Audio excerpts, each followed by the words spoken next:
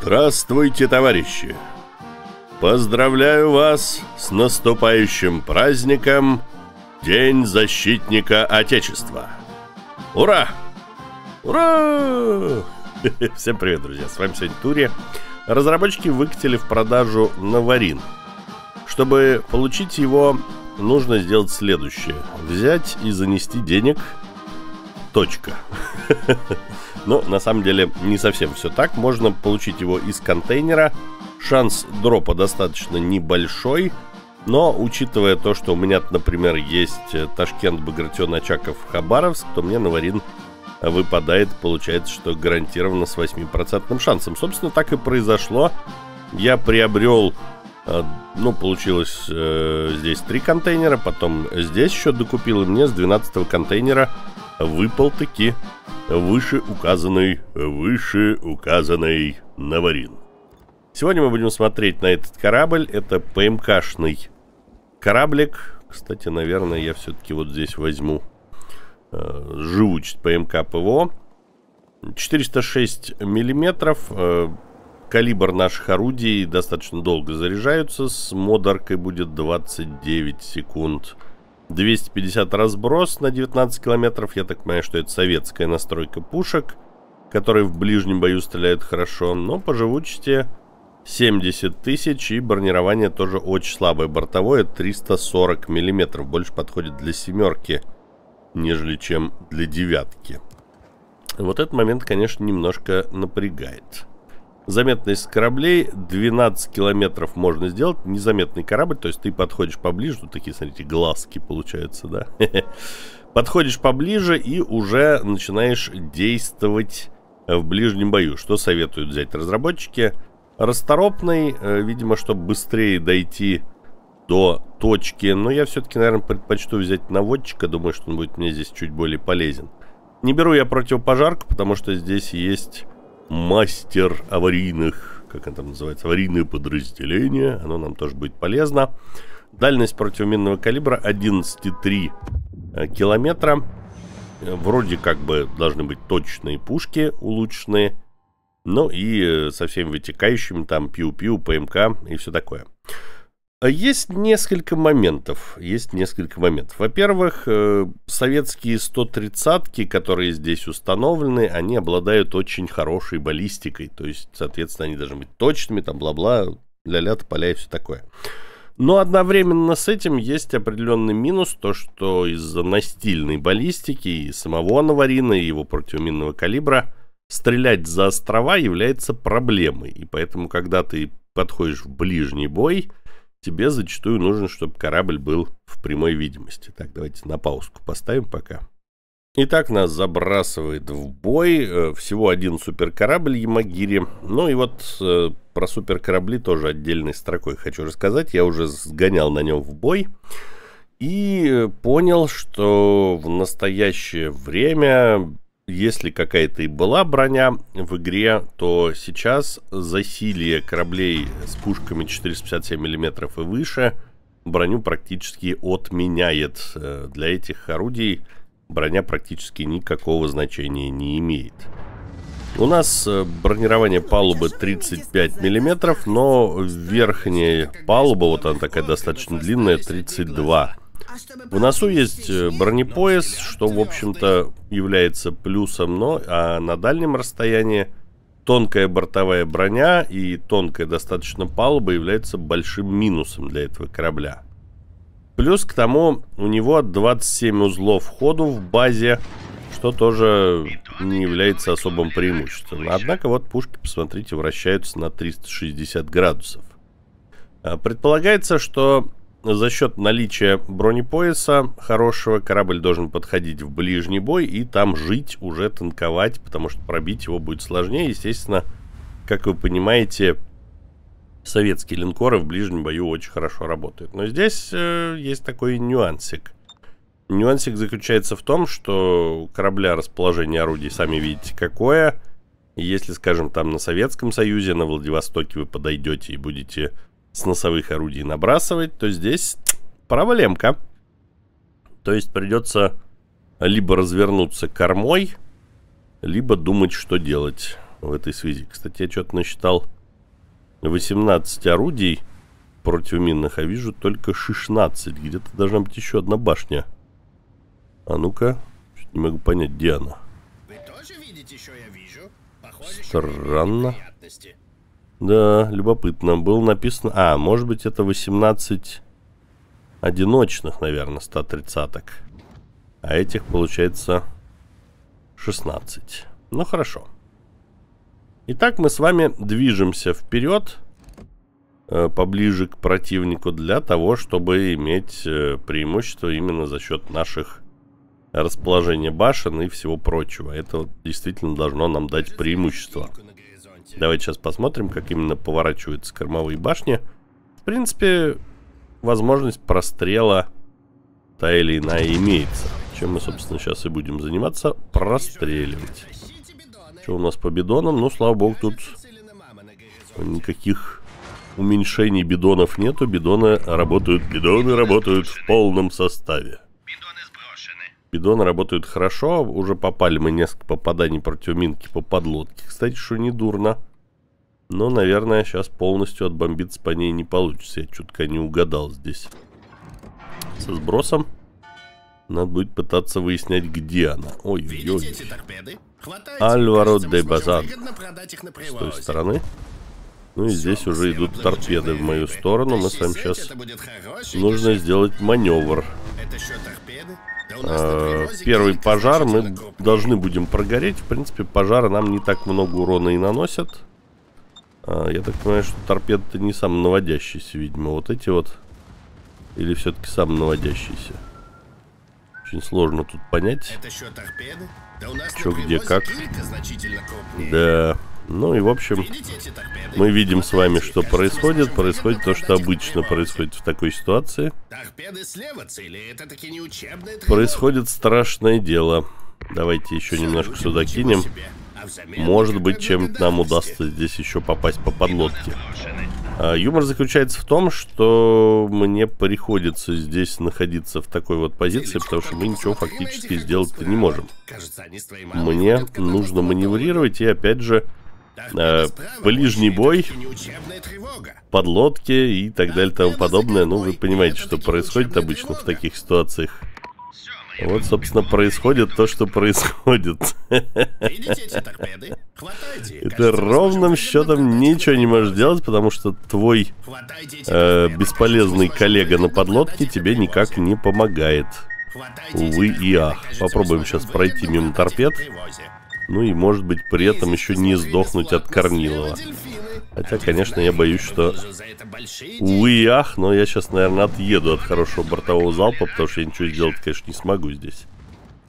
Э, повезло, похоже, что противник не обратил на меня внимания, не был готов к залпу, и это, конечно, здорово. Согласен. Э, отходим просто назад, ну и пытаемся обнаружить товарища подлодковода. Где-то он здесь находится ориентировочно. Пока башни провернутся, тут вообще без, без шансов. Мы пока что просто сбрасываем наши бидоны и на этом, как говорится, все. Не знаю, почему Корнилов не стрелял. Может быть, он тоже ожидает там подводные лодки, не знаю. Сложный вопрос. К сожалению, наш э, противоподводный коллега не хочет работать. Я не, понятия не имею, где находится подлодка, как обычно. Никакой информации об этом у нас в игре получить невозможно. Отрывает мне э, две цитадели Корнилов. Причем не сказать, что прям в борт, все-таки в ромбик. Но э, могу сказать, что бортовая броня Наварина, конечно, оставляет желать лучшего. С другой стороны, э, тут и варианта никакого не было. То есть можно было либо поймать торпеду, либо поймать э, пулюшку от линкора. В принципе, наверное, торпеду было бы поймать немножко дешевле. Чуть-чуть. Ну вот, обратите ваше внимание, у нас э, наш подводный коллега, или коллега, как его лучше назвать, не в состоянии прожать ничего, чтобы обнаружить подлодку. О, мне, к счастью, удается все-таки...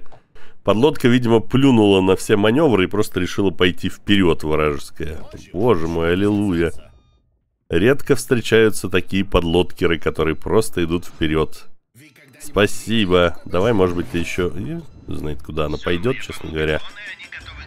Ну и мы с вами вместо того, чтобы реализовывать наше замечательное противоминное вооружение и вот это вот все, занимаемся вот этой вот очень увлекательной ерундой.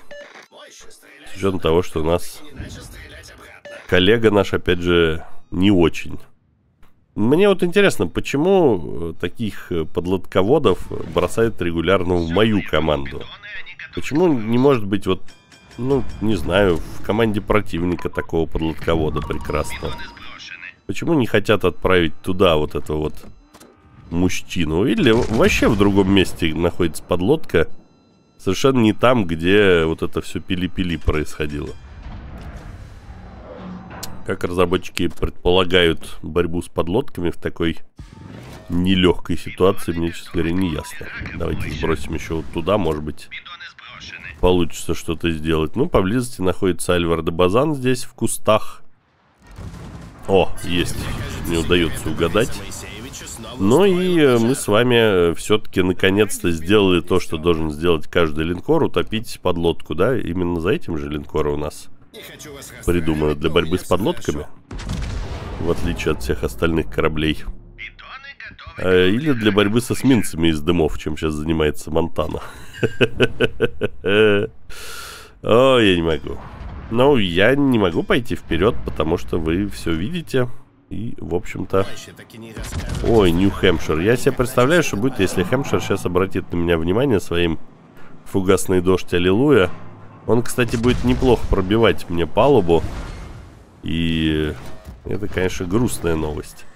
Но, опять же, что, Базан стреляет по мне из дымов, я никуда не могу подойти. У меня нет ГАПа, у меня нет РЛС, у меня нет ничего, кроме ПМК, который не может ни по кому выстрелить, потому что никого не видит. Вот, а до кого достает, до того я уже и сроду не дойду, скорее всего. А, ну ладно. Ничего страшного. Продолжаем наш боевой поход, друзья. Надеемся на наших союзников. Нас они не подведут в этом бою. Я надеюсь. Я, честно говоря, даже не знаю, куда пойти, потому что спереди эсминец. Э, там... Ого, эсминец Спереди, не спереди же точку берет кто-то. Интересно. Похоже, что он просто так взял и пошел на точку. Ну, торпеда у него достаточно медленная, я могу сказать, поэтому... Вот этого, наверное, мы бояться сильно не будем. Мне сейчас самое главное с этим товарищем Базаном не лишнего не нахвататься. Все, есть контакт, спасибо. А, наверное, потушусь. Хотя один пожар здесь тушить, я думаю, смысла особого и нету. Так, а это, кстати, не он точку-то берет. Это берет точку кто-то еще. Кажется, мы все Да, это Ягер. Ой-ой-ой. У-ля-ля. Он вообще где-то спереди, получается, там сейчас на точке. Ну, опять же, борьба с эсминцами и подлодками — главная задача линкора в нашей игре. Только эсминцы и только подлодки. Опять пожар. Прекрасно. Э, пытаемся с вами уйти с линии прострела. Вот. Эм, что, удастся нам это сделать? Ну, с линии, наверное, удастся. Я думаю, что нам все-таки надо попытаться довернуть здесь корму. Иначе как бы очень плохо все. А, ну, естественно, у меня еще и Кузнецов пропнул вместе с ремонтом. Замечательно, замечательно. Я думаю, успею я или не успею уйти с линии прострела. Ну, думаю, что, наверное, вряд ли. Мне кажется, тут уже без шансов. Да, товарищ Корнилов? Я еще просто боюсь, что Ягер успеет перезарядиться. Там уж сумасшедшая совершенно торпедная перезарядка. Ну и что? Корнилов дает залп. Тонканем, да. Кормой-то мы вблизи, мы тонканем, не вопрос. Ну и теперь вопрос, там еще спереди Ямагири где-то. И тут неподалеку Ягер. Вот со, в связи со всем этим безобразием, я думаю, что делать? Тормозить или газовать? О, и Хэмпшир еще за углом. Любимое местонахождение Нью-Хэмпшира это где-то где-то там. Ох, это было больно. Ну, я тут уже починю, что у меня есть на 1200 хп. Тут уже сильно ничего, я думаю, не на это самое не набьешь. Все, уже залп от Корнилова идет в меня. Ну и э, я бы, честно говоря, друзья, наверное, бы мог бы перекатать этот бой, но с другой стороны, зачем? Мы с вами видим ровно все то, о чем я говорил в предыдущих э, видео про линкоры. А, что мне удалось сделать на линкоре ближнего боя в этом бою?